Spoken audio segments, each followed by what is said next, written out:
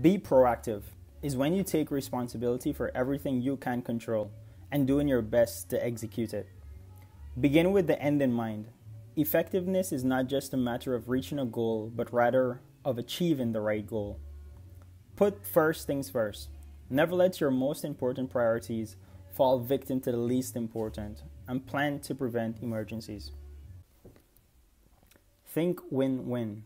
Be an interpersonal relationship leader, creating allies on your journey. Win lose creates bad feelings. Seek first to understand, then to be understood. Win win relationships require you to first ask what the other party wants and what winning means to them. Synergize, the whole becomes greater than the sum of its parts, with cooperation and communication as the foundation. Sharpen the saw. To cut something, be in business, related things, as like caring for your body, soul, mind, and heart.